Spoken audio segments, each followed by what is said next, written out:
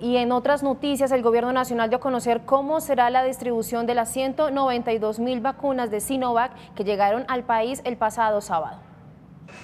Con esta distribución de vacunas de la farmacéutica china se espera reanudar el plan de vacunación de las regiones desde este miércoles 24 de febrero. Es importante este periodo porque representa esa curva de aprendizaje que nos permitirá seguir generando capacidades para, para poder eh, rápidamente pasar a números más amplios de vacunación. Por cuenta de la cepa brasileña que circula por el Amazonas, a esta región le fueron asignadas 22.741 dosis, al Guainía 12.402 y al Baupés 5.212 dosis.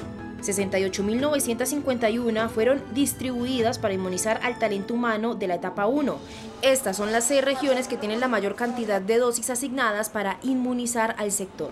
Antioquia 10.061, Valle del Cauca 8.042, Cundinamarca 6.144, Boyacá 4.204, Nariño 4.113, Tolima 3.061. De otro lado, los departamentos con el menor número de dosis asignadas son Pichada con 112 dosis, Chocó 227 y Risaralda 320. Para inmunizar adultos mayores se destinaron 82.694 dosis, principalmente para regiones como Bogotá con 12.025, Antioquia 11.106, Valle del Cauca 8.816, Cundinamarca 4.063 dosis y Santander 3.831.